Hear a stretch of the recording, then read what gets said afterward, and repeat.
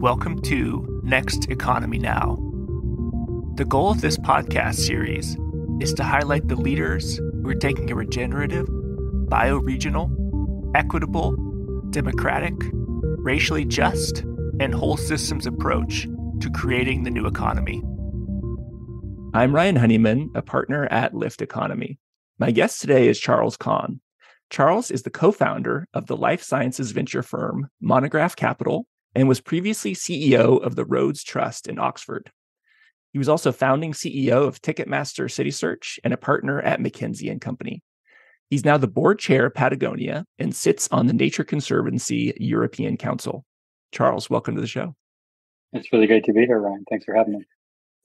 And so, one of the main reasons you're on today is a new book called The Imperfectionists. And maybe even before we jump into like the details of that book, could you give folks a bit about your background and how you first got into the work you're doing today? Yeah, I mean, I started off in a pretty conventional way. I went to business school and after business school went to work with McKinsey and I loved the work that I did, but what I was trained in was a pretty conventional take on capitalism and what we called maximizing shareholder value.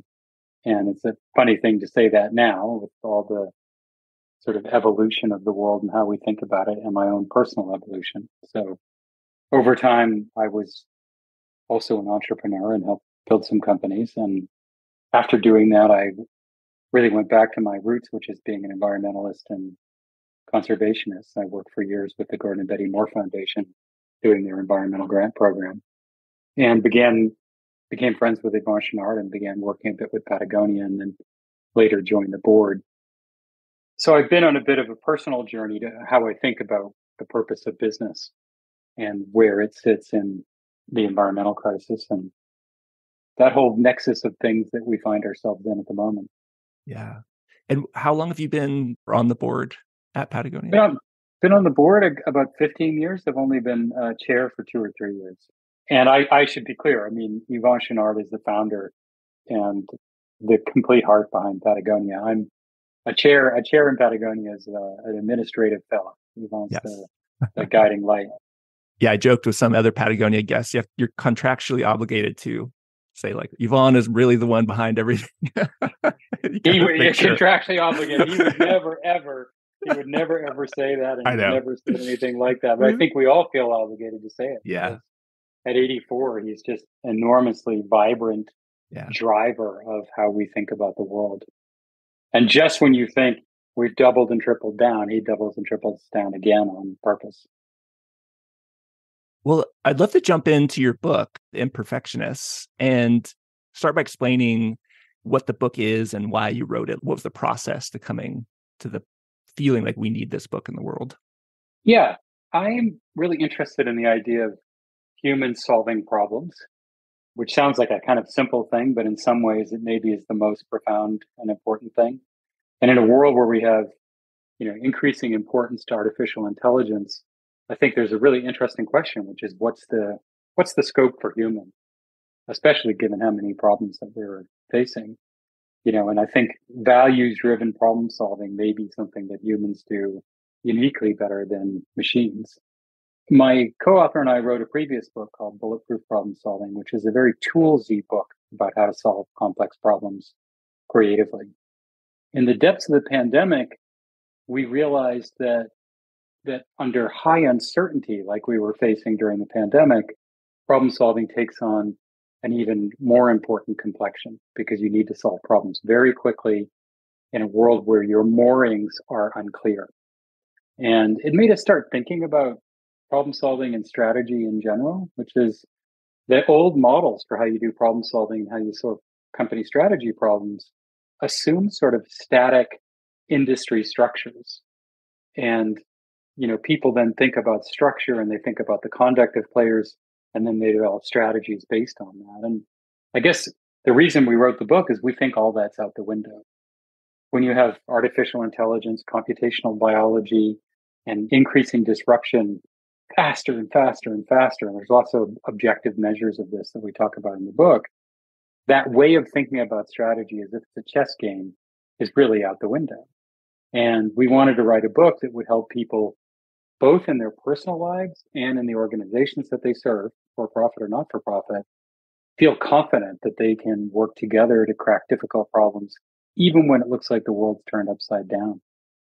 I love that. And, you know, what are some of those common pitfalls that you see companies making perhaps now that they should think about sh- switching up? Well, companies and nonprofits, I think, fall into two. When things are changing quickly, they make two mistakes. The first is the most obvious one, which is you freeze and you say, "Well, we'll we'll change when, as soon as uh, things go back to normal, or where things are stable again, or we find equilibrium." And I guess the message of the book is there's there's no stasis coming. That we can expect more change, and therefore you better think about how to develop strategy now. The other pathology, which we see all the time too, is what I would call leap before you look. Things are changing so quickly, people make foolish decisions to leap into something. And of course, there's legions of examples of this. The, the one that comes to mind at the moment is Elon Musk purchasing Twitter without thinking really hard about what that was and who the communities were and what was important to them. And then now finding he's, you know, lost more than half the revenue and he's having to really rethink that. So either freezing or leaping before you look are, are two pathologies in fast change that are not the best approaches to cracking strategic problems. And how would you describe sort of the imperfectionist mindset? And you know, maybe we can go through some of the those six strategic mindsets. How would you maybe uh, compare those with lean startup and MVP and that sort of agile sort of mindset? Yeah, I mean, I think lean agile, scrums and all that stuff, it's all that's all good stuff. And going fast makes a ton of sense. A lot of that is essentially operational improvement, which is different from strategy. You are solving problems, so in, in that sense, they're kin, they're they're kin with each other. What we're talking more about is overall company direction rather than how to improve a particular process, but definitely in the same zip code. Okay. Got it. Yeah. So maybe could you mention some of the the problem solving mindsets and that imperfectionists sure. employ? Yeah. So I guess I'd start by saying, you know, when we think of Im- something that's imperfect, we think of it as flawed. And of course, what we're not trying to say is be flawed. But I think what we are trying to say is don't be afraid to make mistakes. That the best way to learn when things are changing quickly, the best way to learn the new rules of the game is to actually lean into it and using relatively small, relatively low consequence moves initially, get the feedback you need from the external environment to make bigger moves more confidently, including building the skills and capabilities to do that. You don't do that by being frozen, and you don't do that by making big, giant bet the company or bet the organization moves. And so, most fundamentally, imperfectionism mindset says don't be afraid to make mistakes and don't punish people in your organization for making mistakes as long as they're relatively low consequence and low cost. I do want to say that you probably thought a lot about this, but just naming it imperfection, there's like a relief, like a somatic relief of like, oh, it's not called the perfectionist, how Patagonia and Yvon Chouinard crushed the world's comp. It's imperfection. And so it does seem like there's a, a big some like semantic importance of that. I think that's true. And I think it definitely intended to free people up to lean into risk in ways that are sensible. Yvon is the ultimate experimentalist imperfectionist. You know, he said, in we quote him in the book, you can do a scientific approach to developing strategy and you can think it all through. And by the time you've done that, someone's already beat you to it. And he literally says the best approach is to take a step forward, see how it feels. And if it feels good, take another step forward. If it doesn't, step back and revise your strategy. It's a version of prototype get into the field, break it, go back to the bench, make it better, go back into the field. That's the loop that creates great gear and of course is behind Patagonia. Yeah, maybe you could speak a little bit more about Yvon and, and Patagonia and why with your sort of intimate experience as being on the board and board chair, why does Patagonia have that imperfectionist mindset and why is it successful? Well, you know, it's not run by a bunch of people who went to business school. It's run by a bunch of people whose passion is to be out in nature and in the outdoors. And you know, the the mission of the company before 2018 was to make the best gear, do the least harm, and use the harness the power of business in order to fight the environmental crisis. So that's still in our blood, which is make the best gear while doing no unnecessary harm. That's the motivating force behind the company. Now, in 2018, Yvon did one of those double downs and he said, actually, we're in business to save the home planet. So let's do all that other stuff, but let's make sure that everything we do makes a contribution toward actually saving the planet because we can't do business on a dead planet. And you know, you can imagine when someone says that, you say, "Wow, that's incredibly inspiring," and then you go to work and you think, "The hell do I do? Right? What is that? What is? How do you operationalize that?" And I think you know, an interesting period of ferment where you stop and think, "Okay, is that just measuring our footprint?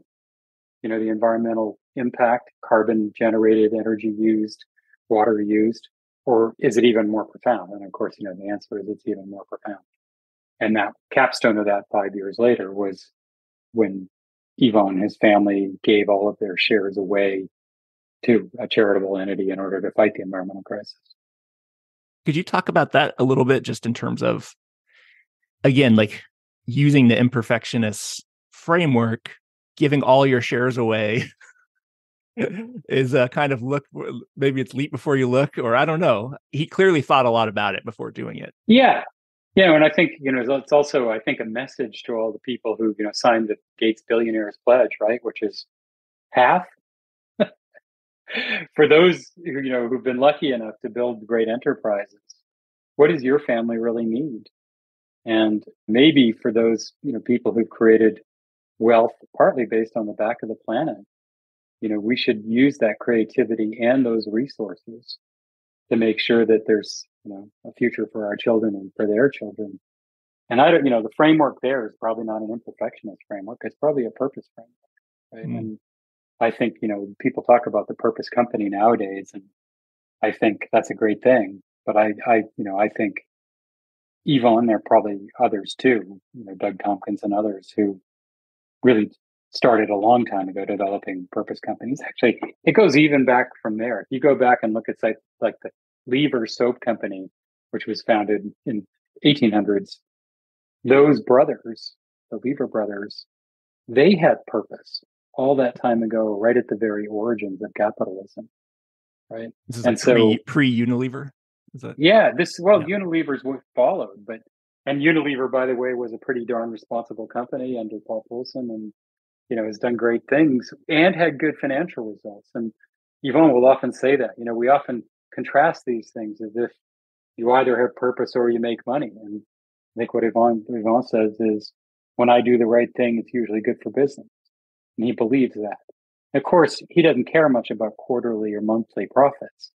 He cares about, you know, building the best gear to an unknown necessary harm. But it's a 50 year old business that's been very successful over time because he does the right thing, not in spite of it we started on some of the the strategic mindsets. I'm curious, like Dragonfly Eye, Curiosity. Maybe you could reference what are some examples, either with Patagonia or other companies, to kind of bring some of those home for folks who might yeah. be interested.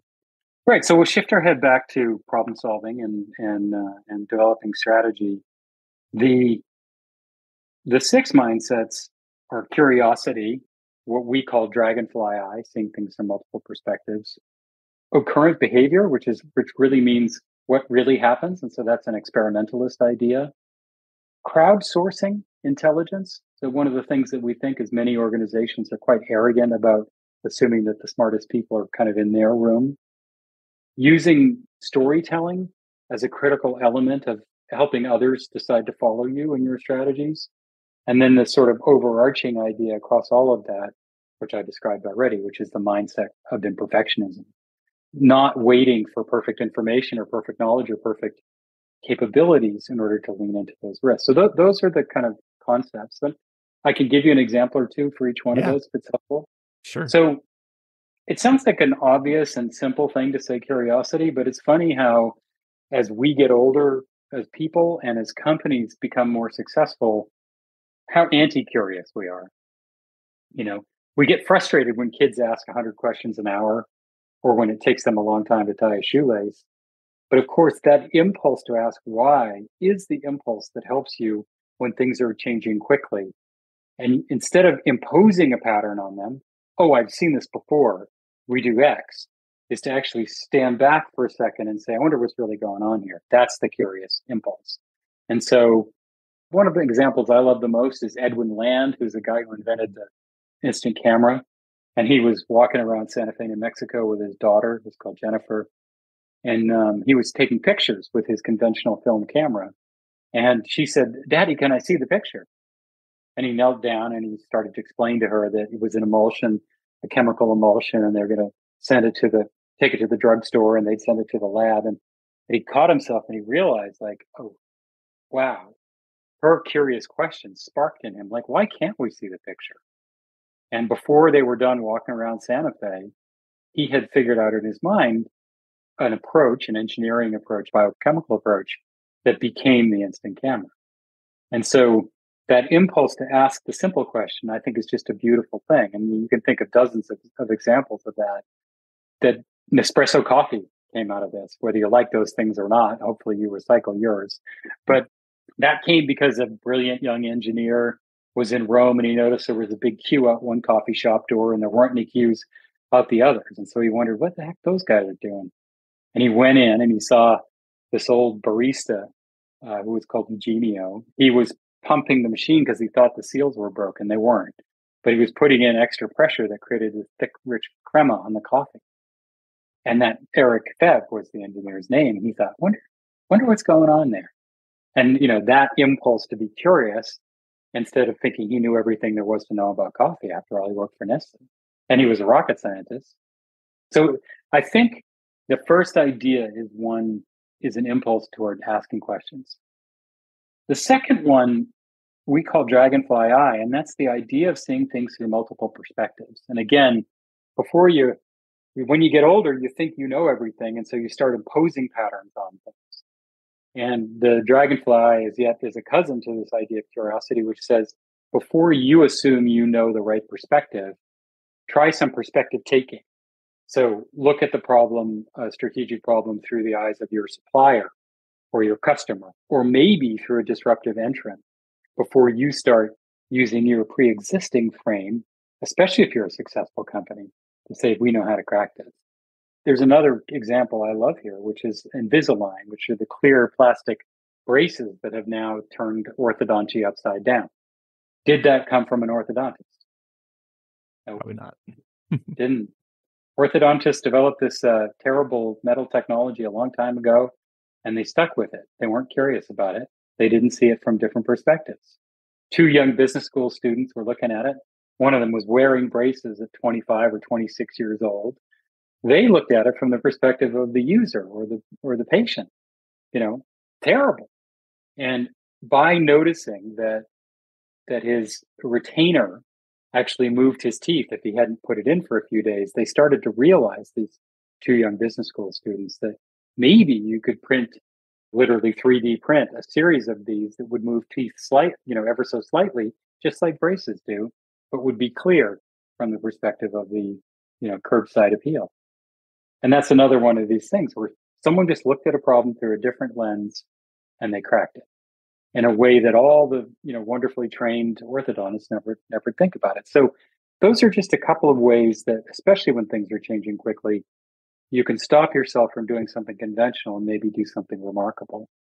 The third one is this idea of experimentalism. And I think nowadays we're used to hearing, oh, you should experiment. But I think most people think that just for, pertains to, say, web businesses where you can do interface A and interface B and see who buys more stuff, right? But this idea of experimenting can go to almost any kind of business. And my favorite example here um, is uh, is SpaceX. And you know, whether you like Elon Musk or don't like Elon Musk, it's pretty remarkable what's happened with SpaceX, or whether you believe in space travel at all, which is another conversation. But you had 60 or 70 years at NASA make very small improvements. And then in 15 years of SpaceX, all of a sudden they go 95% down the cost curve. So, so they can send a kilogram into space for a tiny fraction, 20th, less than a 20th of what it used to cost to send a kilogram into space 15 years ago. How do they do that? They experiment. They send 20 missions into space, 15 or 20 a year instead of three or four a year. And they're not afraid to try new things like borrowing some heat shielding technology from the automotive industry instead of developing something just for this or creating a net that captures the nose cone, which is one of the expensive components, so it can be reused. And most recently, you saw, I think it was called an unplanned disassembly, where they were launching a rocket into space that fell apart. But that was okay because they were testing 20 different things. Now, it also created a bit of substantial environmental mess. But the idea, I think, is still a, sound one, which is not to be afraid to try things, even and even have some things fail. And most companies are set up just to, to punish people when things don't work as planned. And at a place like Patagonia, we celebrate when people work really hard on something and then break it in the field because we learn something really important instead of having our customers learn that, right? When you when you do a high alpine kit, it better keep you warm, right? Better work. The fourth one that I want to talk about, and then I'll, I'll finish up, is the the idea of crowdsourcing your intelligence. And it's a funny sort of thing to say, right? Because we all have clever colleagues that we work with. But a lot of times, what's required to solve a problem creatively actually doesn't exist inside your organization. And not being afraid to use either crowdsourcing platforms or other forms of collective intelligence to bring that expertise in, in house. The example I love here is the Nature Conservancy, which is a conservation organization that was trying to crack the problem of how do you take these fishing fleets that are bobbing up and down in all kinds of water and they're bringing fish over the transom and they have to make a very fast decision. Is this an endangered species or is this a fish that's okay to keep? And they knew you could put cameras video cameras on boats but they didn't have any expertise internally on what you could do with that. And so they used kaggle and they created a competition and they had thousands of entrants with a $150,000 prize. For $150,000, someone came up with a computer vision approach, a machine learning algorithm that quickly looks at the facial characteristics and fin characteristics of fish and makes a judgment and gives a green or a red indication to put that fish over the side or it's okay to keep it. The Nature Conservancy didn't have those folks internally. Why would they? But now you've got a cool technology that's helping to reduce overfishing rolling out through the fleet. So those are those I'll stop there for a second. That's four different mindsets that can help you solve difficult problems even when things are changing quickly. And I mean, I think a lot of people are waking up to the power. I mean, I feel AI has been around a long time. It's just we haven't seen it. It's been on the, you know, it's it's in Facebook's algorithm or it's in YouTube's algorithm. But now with obviously ChatGPT and others, it's talking to you. I'm curious, how do um yeah, how do you how do you think about collective intelligence, whether it's human collective or AI collective intelligence? And like, you know, how do you determine is this I think you mentioned humans are maybe better value based decision makers. Did I hear you say that? Yeah. And so I you guess how how how would you think about those things? Well, so I don't think it's, you know, sometimes we're using simplistic tropes now, like evil, not evil.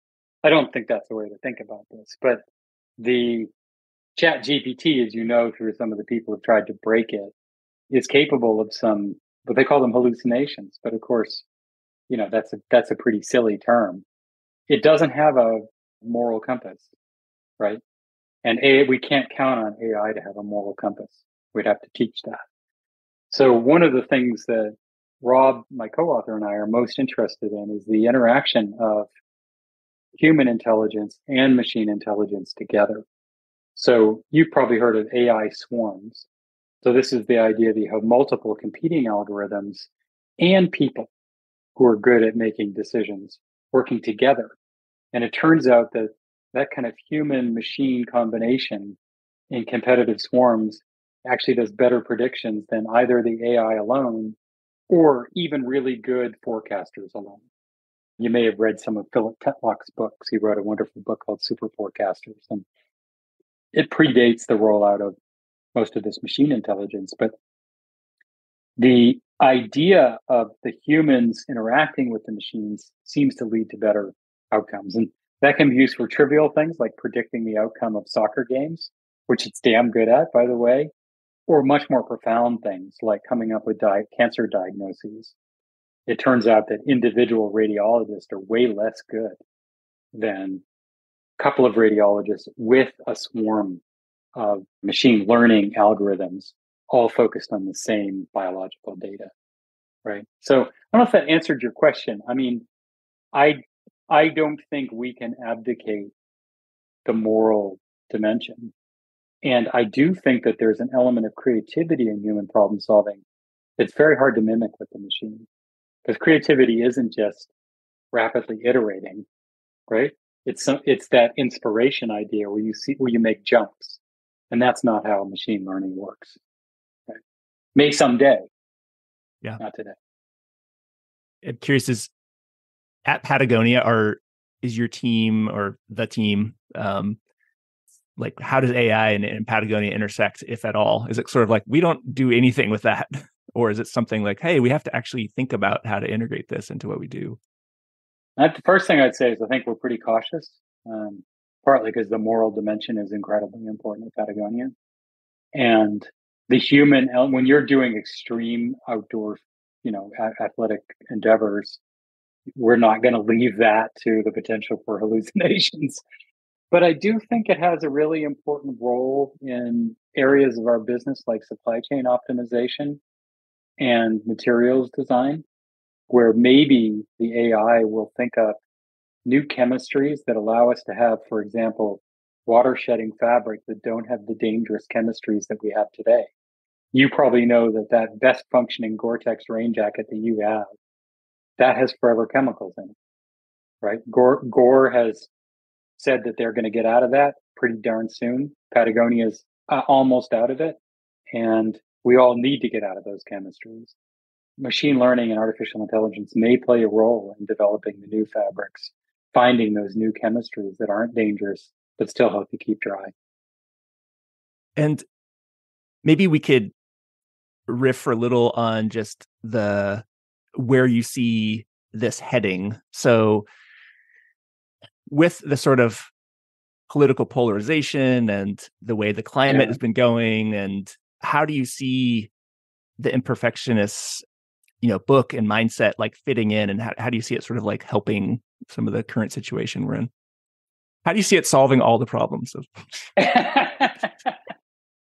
Well, you know, I actually spent a lot of time thinking about polarization because it, it vexes me that, you know, when I was a kid in the 60s and 70s, that it was, we had Republicans and Democrats then, but we also had the Clean Air Act and the Clean Water Act and the Environmental Protection Act, NEPA, whatever that stands for. That was all developed via bipartisan legislation and in the Endangered Species Act. I mean, under Nixon too. People know that, right? right. So the most left Republican was left of the most right Democrat. We have very little overlap now. And I think the potential to solve big national and international global problems is really made so much harder by ideological polarization. And I don't mean to suggest that this book is part, you know, is a big part of the solution. I do think the ideas in the book are. So ideological entrenchment is the opposite of curiosity, right? It's the opposite of asking why. And when you see someone dug in a position that you don't understand, do you vilify them or do you go and you wonder, why do they believe that? And I wonder if there's a way to bridge there, right? So the, one of the mindsets we didn't get to talk about, we call show and tell, which is how you use visuals and storytelling to actually convince other people to follow your strategy. And a lot of the thinking there actually comes out of this left right stuff. And some of the thinking of, a, of an author called Jonathan Haidt, H A I E T, who wrote, who writes about polarization. And one of the things he says is to make sure to speak to people's hearts, not to just to what's in between their ears. That to speak to people's value systems when you're doing problem solving, not just to so-called facts. So I think, you know, in a world where people don't trust facts as much, if we could work together with curiosity, if we could see things from multiple perspectives, if we could be willing to engage in heart-based dialogue, values-based dialogue, I bet we'd be further along the path. Right? I love it. Yeah. Um, I mean, I know where I sit in all that stuff. And I know I wake up in the morning and I read stuff and I get angry. And then I try and stop myself and think, hold on. If you just make, if, if you just other people, you're never going to work together. Yeah. I'm, I'm thinking of the, the story of Patagonia under the tags, like vote the assholes out. That was, that was interesting it, one. yeah. And you know, I, I love that. Let's use that example. Yeah. So first of all, was that corp, top level corporate strategy? Nope. It's a perfect example of what we need to be doing with strategy that we didn't talk about now, which mm. is strategic problem solving should be pushed down to the people who are actually interfacing with customers and materials and suppliers. Corporate strategy shouldn't just be done up top. The only stuff that should go up top, in fact, is when the consequences are huge or the resources required are huge.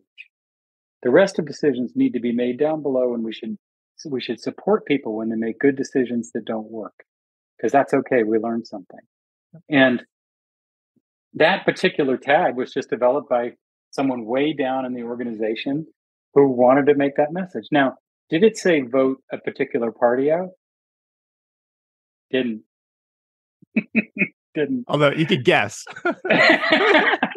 well, there's lots of assholes, uh, yeah, you know, for being honest about it. Yeah. And who was the person who loved that the most? That little tag maybe the president at the time. yeah. Yeah. The chair, you know, the the found the founder of the company, Patagonia, was the person who loved that the most. Uh, ah. was Yvon, who had no hand in it. He just thought it was the funniest thing he'd ever yeah. seen. I think that's a per- it is actually a good example of this kind of approach to make to solving problems, which is push those things down yeah. in the organization. And you know what? You can correct. Like I think that's the thing that people don't realize, which is if you build a nimble organization, it comes back to some of the stuff you asked at the beginning. Correct course. Correct course. Right. If you have to push every decision up to the CEO, well, it's hard to correct course because that person could never make that many decisions. But if you actually really put power into people's hands and you trust them because you're guided by very simple values, and you know, Patagonia is guided by very simple values, you can trust people. And when they mess up, we just fix it just like, you know, think, prototype, break, try again. Yeah. You know, I'm curious with Yvon being, you know, 84, like you mentioned, and no longer owning the company, but very much still in, involved, I imagine, with every day. Every day. How big is Patagonia dreaming and like what's what's the vision for the next 20 years? Well, so big is one of those funny words for us, right? Which is, you know, the family is not for growth. Doesn't mean it's always against growth, but our objective, none, none of our objectives say growth, right? None of the things I said. In fact, you could argue that being in business to save the home planet ought to be very, have a very suspicious attitude about growth. And that's 100% consistent with the family who are still, you know, deeply engaged in this business. The, Maybe it's clarifying is, that big meaning impact or like i know yeah. you know I, yeah. think, I think that's good i just I, I, say it because i think it's for all those of us who yeah. care about rethinking you could throw out capitalism but so far the alternatives have been worse so we got so right so until we get a better answer we got to fix it fixing it does require asking that question is actually growing necessary so you know we we grow when we think we make better stuff um, and we're, we're where demand is pulled rather than pushed. And in terms of impact, I mean, I think Patagonia hopes to have massively more impact in our next 50 years than our first 50 years. And we didn't need to be a very big company to have a very big impact on how people think about capitalism. And I hope that only grows over time. So one of the big changes is people don't just say, how do you put purpose into your business? They say that thing you did by putting all the shares into a trust on behalf of, you know, the planet. Tell me about that again. Because it turns out it's pretty hard to have to have your a foundation own your shares, but we figure out a way to do it. And so now more and more companies are doing that and or people own companies. And I'm not saying they were inspired by us, but even, you know, a giant organization like Bloomberg has now committed all the flows from that company in the future to fight the to the aims of Michael Bloomberg, which are not the same as Yvon Chouinard, but they don't need to be. We actually the cool thing is we don't need to all have the same aims, right? But we do need to have aims. And you know, just making money is not a good one.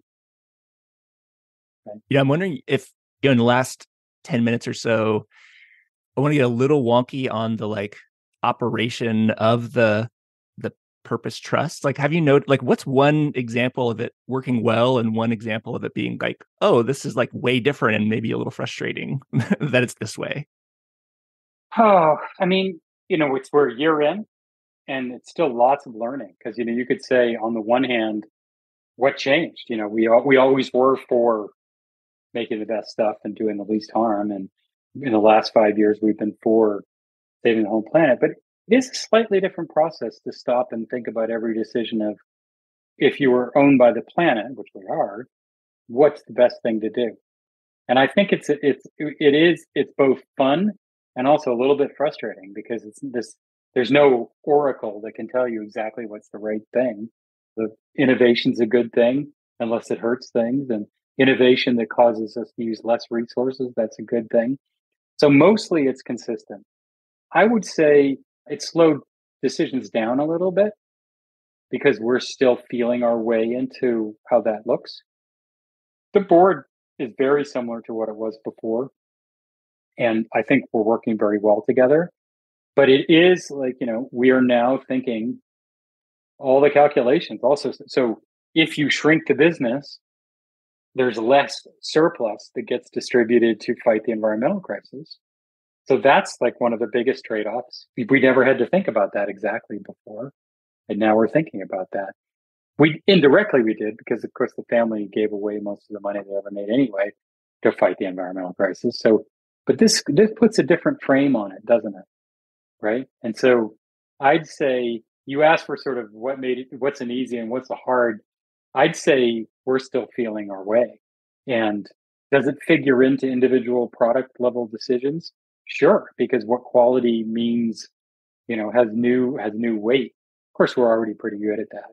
I think the place where the where the rubber meets the road is mostly these big strategic, the thing we've been talking about here, you know, decisions, and it's it's been both fun and humbling. You're like you did. I didn't know as board chair it'd be so hard to make decisions.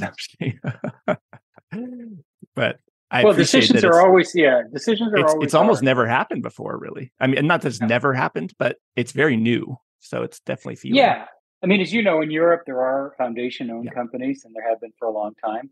Some of that's a bit of a tax dodge, right? That's that's not all sort of purpose-driven, right? This one's all purpose-driven, and so there there may be analogs, but not that many. Well, Charles, in the last few one or two questions here, what do you need right now and how can the listeners help you grow the next economy? Wow. I think that's a great question. I mean, you know, we need cadres of bright, committed, purpose-driven people who want to, who who can help crack what it would mean to develop, you know, a different economic order that still provides, you know, for good healthcare and education and all the things that humans value, but that also works in much better concert with the resources available on this planet. And if you don't mind me saying so, also takes account of all the other creatures that we share the planet with. I mean, we're very, even in environmentalism, we're often human centered, right? And we, we talk a lot about the impact on people.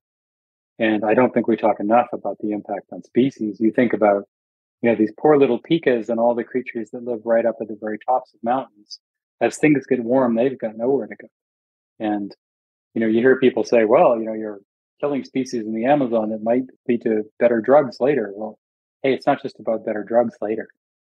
These are creatures, these are beings.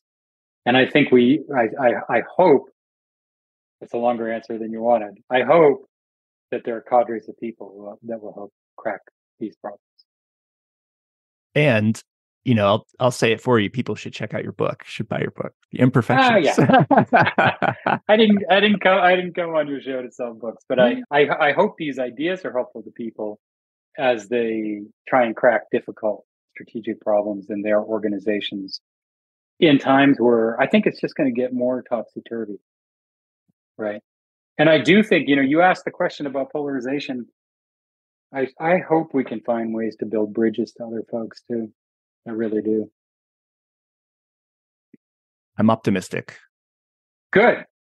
I hope. I mean, but, you know, you're you're a little younger than me. I if we don't have optimism, we're really screwed. Yeah, this is a whole nother side story, but I have a, a conservative uncle that I reached out to and just did a lot yeah. of listening. And it was pretty fascinating. You know, right. we actually agreed on a number of things, even though he's a right. Trump supporter. So it's like, right. you know, he actually thinks the uh what is it, the Citizens United, he actually thinks that's a terrible decision. I was like, okay. And, you know, he thinks there should be mental health checks for guns. Anyways, I could go off, but I think there's actually a lot more agreement than we think. And there's fewer bad people than we think. Yes. Right. There's some uninformed people, but we but we shouldn't just think that it's other people. Yes.